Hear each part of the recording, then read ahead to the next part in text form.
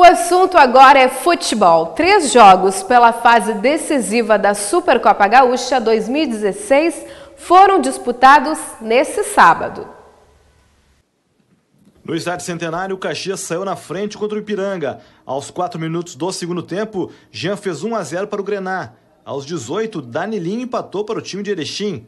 A virada do Ipiranga começou com lance polêmico. O Caxias reclamou de mão de Michael, mas o juiz Lucas Guimarães não marcou. E na continuação do lance, o Ipiranga marcou com o Thiago Renan. Final Caxias 1, Ipiranga 2. Nos outros dois jogos, o Novo Hamburgo venceu o São José por 3 a 1 no Estádio do Vale. Na Pedra Moura, em Bagé, vitória do Inter contra o Grêmio Bagé por 3 a 1. As partidas de volta acontecem no próximo domingo. E o Inter empata com Santa Cruz em casa e desperdiça mais uma chance de se afastar de vez da zona de rebaixamento.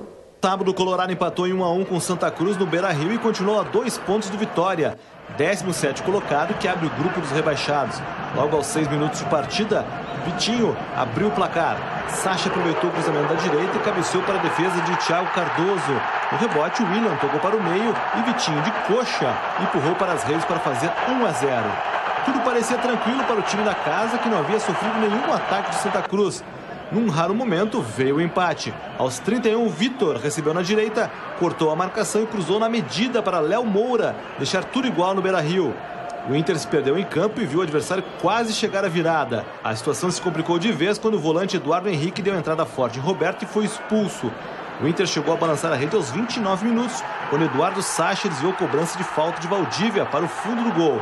O lance foi anulado por impedimento do atacante. O Colorado não vai ter vida fácil na próxima rodada. No próximo domingo, a equipe vai a São Paulo enfrentar o líder Palmeiras. Com o time reserva, o Grêmio empata sem gols contra o Figueirense em Florianópolis. Agora o time concentra para um jogo decisivo sobre a Copa do Brasil, amanhã, quarta-feira. Em um jogo sem muitas emoções, Figueirense e Grêmio ficaram no empate sem gol sábado no estádio Orlando Scarpelli em Florianópolis. O resultado não foi bom para nenhuma das equipes. A catarinense briga para fugir do rebaixamento à Série B, enquanto a gaúcha quer uma vaga na Copa Libertadores. Em uma rodada em que a grande maioria dos seus concorrentes empatou, só o esporte venceu, o Figueirense desperdiçou a chance de ficar mais perto de deixar a zona da degola. Agora segue na 18ª colocação com 33 pontos, a 5 de distância do Internacional, que é o primeiro que está fora do Z4. Já o Grêmio, que entrou em campo no sábado com vários jogadores reservas, se manteve na oitava colocação com 49 pontos. Agora a distância para o G6 subiu de 1 para 2 pontos. Mas o tricolor pensa mesmo na Copa do Brasil. Na quarta-feira vai enfrentar o Cruzeiro na Arena, na partida de volta pelas semifinais. No primeiro jogo em Belo Horizonte, venceu por 2 a 0 e pode até perder por 1 a 0, que vai disputar o título. O Grêmio é tetracampeão da Copa do Brasil.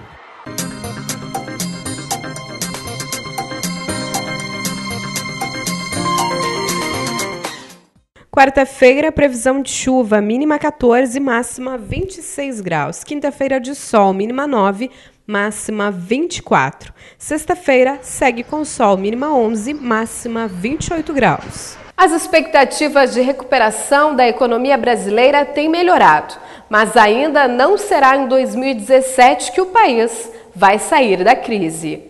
A previsão é de que em 2016 haverá contração de 3,4% e que o próximo ano começará com queda de 0,5% no produto interno bruto. Os dados foram apresentados pela economista Silvia Matos no seminário Perspectivas 2017: Economia e Política em Momento de Mudança, promovido pelo Instituto Brasileiro de Economia da Fundação Getúlio Vargas. Um projeto inédito vai permitir que apenadas da penitenciária feminina Madre Pelentira, em Porto Alegre, trabalhem na reciclagem de lixo eletrônico. O projeto vai capacitar 40 detentas nas ações de sustentabilidade, prevenção ambiental e inclusão social. Não funcionam suítes, hubs e outros equipamentos eletroeletrônicos. O convênio formalizado hoje entre o Estado e uma empresa de reciclagem vai garantir um destino final correto para estas sucatas tecnológicas, que têm o impacto ambiental de vários componentes, como metais pesados. O projeto acontece dentro do presídio Madre Pelletier, capacitando presas do regime fechado. A SUSEP, através de uma empresa conveniada com eles, vai não só dar todo o treinamento, mas vai, vai também ensiná-las da importância disso, trazendo o crescimento social e provavelmente para quando elas saírem daqui terem uma oportunidade de emprego. Mas principalmente a responsabilidade é de termos um descarte correto. Muitas já trabalhavam com reciclagem e não sabiam o que fazer com esses itens.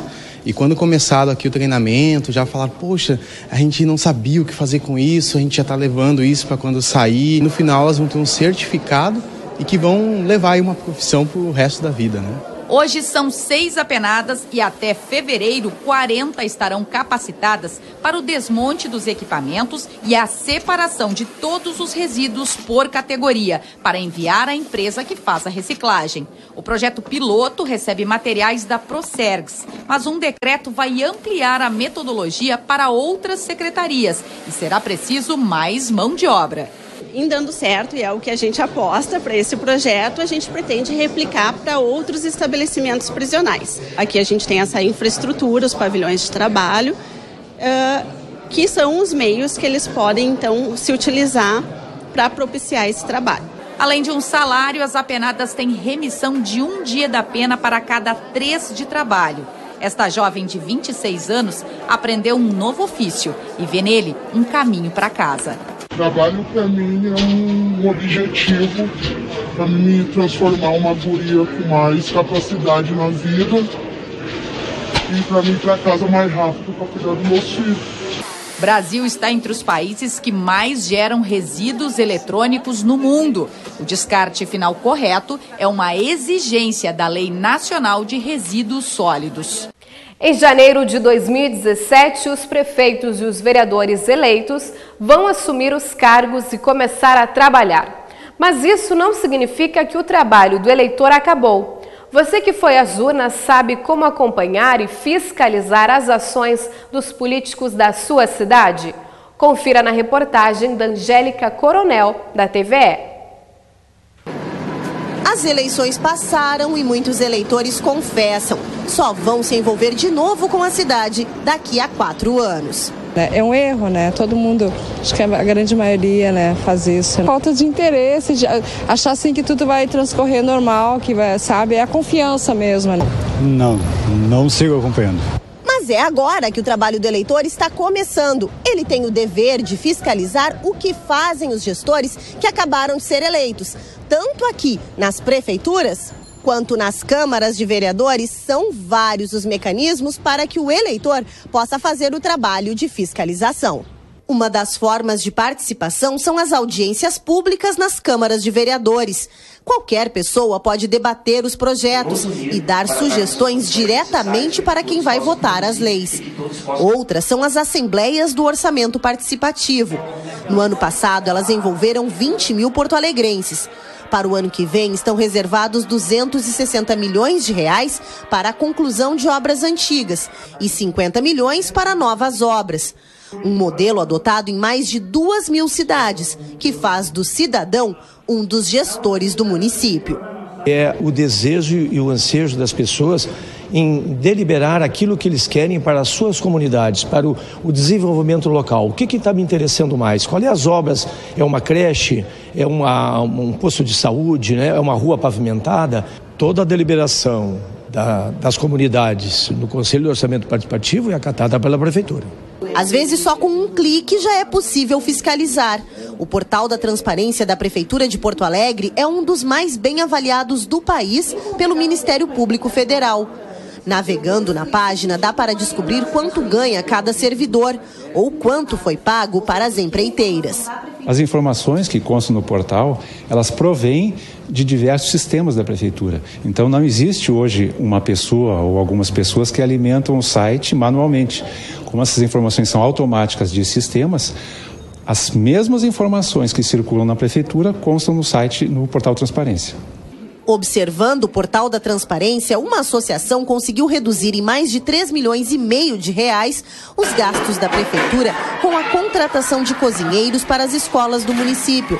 A associação, formada por voluntários como Diogo, acompanha as despesas mais importantes e avisa para o executivo onde pode economizar. Nós atuamos preventivamente, comunicamos o gestor público a ponto que possa ser corrigido esse, essa deficiência ou esse dispêndio desnecessário. Então a gente teve nos primeiros 12 meses uma economia de 15 milhões de reais que nós pudemos contribuir com a prefeitura.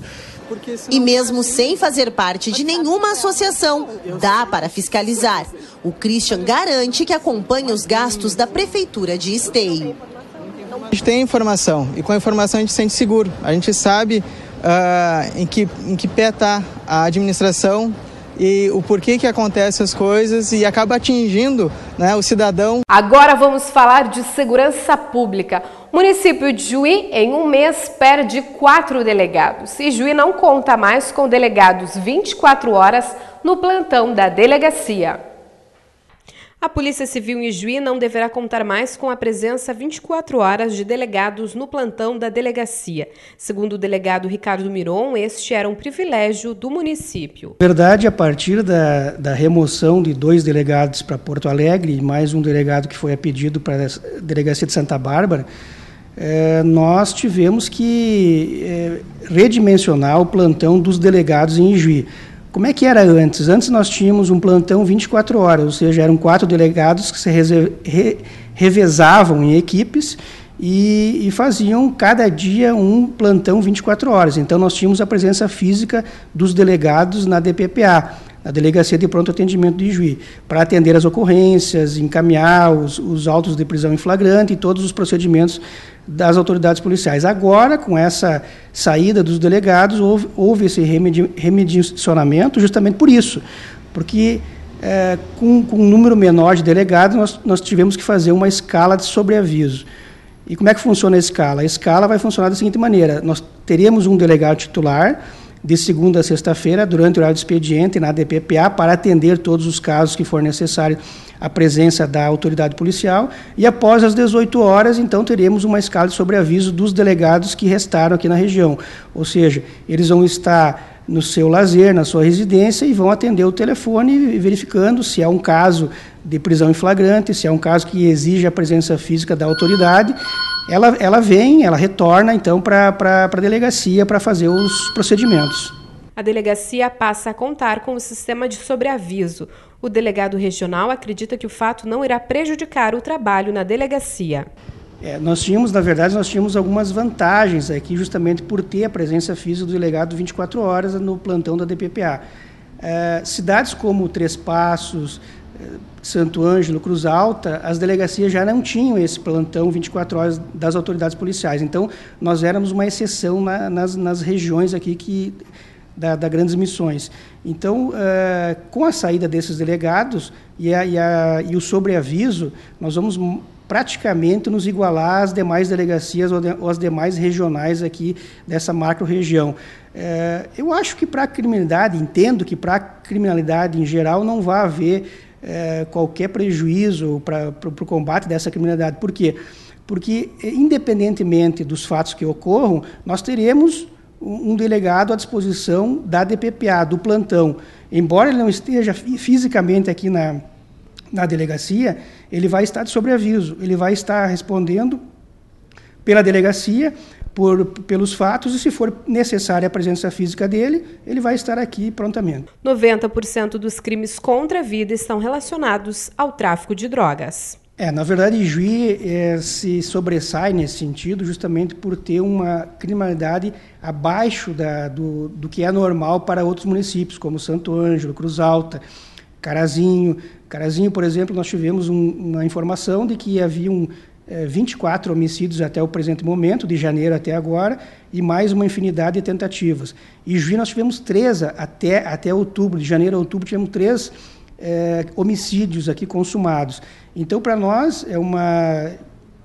É claro que a, a preocupação é a mesma, nós continuamos preocupados com a criminalidade, mas sabemos que, que a situação criminal de Juí aqui é mais tranquila que outras regiões. É, e eu entendo que algumas medidas a gente sempre vai estar fazendo, como as operações das delegacias é, especializadas, a, a, segunda DP em relação aos crimes patrimoniais, a primeira DP em relação aos crimes contra a vida, e a regional também fazendo é, todas essas, essas investigações e procedimentos. A Delegacia da Mulher também em relação aos crimes contra a mulher. Então, é, nós, embora nossos índices estejam baixos, a atuação da Polícia Civil nesse sentido é constante. E eu não vejo assim preocupação justamente por esses dados, é, preocupação em relação à criminalidade no município. E acredito que essa é, essa diminuição das autoridades policiais não vai influenciar diretamente na criminalidade ocorrendo em Juí. É, o que vai acontecer, é, obviamente, é que as autoridades que permanecem no município vão ter um trabalho redobrado, vão fazer mais com o que nós temos, né? Isso não há dúvida. O delegado enfatiza os reflexos da crise do governo estadual no município. Bom, a crise, ela, se, se existe essa crise realmente no estado, né, ela, ela atinge a todos nós indefinidamente e indiscriminadamente. Obviamente que nós tivemos algumas reduções de, de, de combustível, de, de horas extraordinárias pagas, de diárias, algum remanejamento de recursos nós tivemos que fazer, em tudo em função da crise. Mas eu acho que algumas, algumas coisas já foram feitas pelo governo do Estado, algumas coisas estão sendo analisadas, estão sendo feitas. A gente sabe que a escassez de dinheiro não é uma, não é uma coisa que, que aconteceu de uma hora para outra, né? é, é um, é um fato que já vem de, de, de vários governos e nós temos que nos adaptar a isso. A Polícia Civil também sente a crise, obviamente, e principalmente eh, em relação a esse parcelamento dos salários, porque nós, quando, quando é noticiado o parcelamento, sempre os sindicatos já se mobilizam para iniciar aquela paralisação, mesmo que de forma mais não tão formal, mas de forma informal, existe uma, uma certa diminuição na atividade dos, dos policiais, dos servidores em geral. Então, isso, claro, que causa um problema para nós, os nossos trabalhos ficam mais é, demorados, ficam mais é, atrapalhados em relação a isso, e eu entendo que entendo que essa crise também é passageira. Nós não vamos enfrentar essa crise indefinidamente. Em algum momento, o governo e o próprio Estado vai ter que se reerguer, vai ter que voltar ao que era antes, um Estado pujante e empreendedor. Então, é, acreditamos que no futuro as coisas vão melhorar e, e isso vai resultar em um melhor é, aparelhamento das polícias em geral e certamente um combate mais efetivo em relação à criminalidade. Em relação à sociedade e os níveis de criminalidade ou, ou a sensação de segurança, eu acho que o importante é que haja uma participação efetiva da sociedade nesse processo. De que forma? Trazendo as notícias para as polícias. Né? Quando, quando tomar conhecimento, quando o cidadão tomar conhecimento de algum fato criminoso e que é, enseja um caso de polícia, que passe essas informações, seja de maneira oficiosa, seja de maneira que, que não, não lhe seja identificado, ou uma denúncia anônima, algum outro telefonema que pode ser feito para a delegacia diretamente, porque nós vamos investigar. Embora os trabalhos estejam relativamente prejudicados por toda essa crise, o, o trabalho da polícia não para. Então, nós vamos investigar de qualquer forma e vamos dar resposta para a sociedade assim que for necessário. Uma boa noite a todos, uma ótima semana. Nos encontramos na sexta-feira.